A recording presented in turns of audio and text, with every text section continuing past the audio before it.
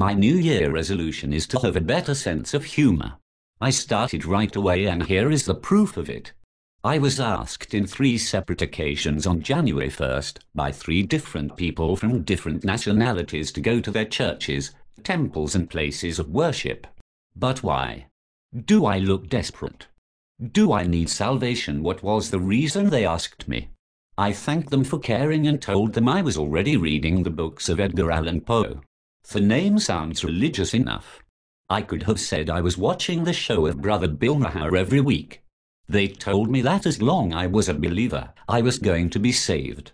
The same day at the mall in Lancaster, California, I was asked by different gentlemen to join their political parties.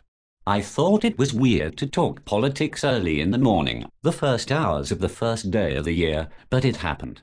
The most aggressive of them was an older gentleman. He told me to join because there is going to be a revolution and they need people of my kind. Right away I thought of the cartoon from Disney Channel, Phineas and Ferb. One of the girls Candace always says, oh no you didn't. The gentleman also asked me, by the way what race are you? I honoring my promise to be civilized, even in the worst situations and with a straight face I answered human. The old man left fuming. I think he was thanking me or something like that because he was a couple feet away and I could only hear the last word, hash sign at dollar circumflex, you. It is great that I had this resolution at the beginning of the year, because if not I could have been insulted and ruined my family day out at the mall.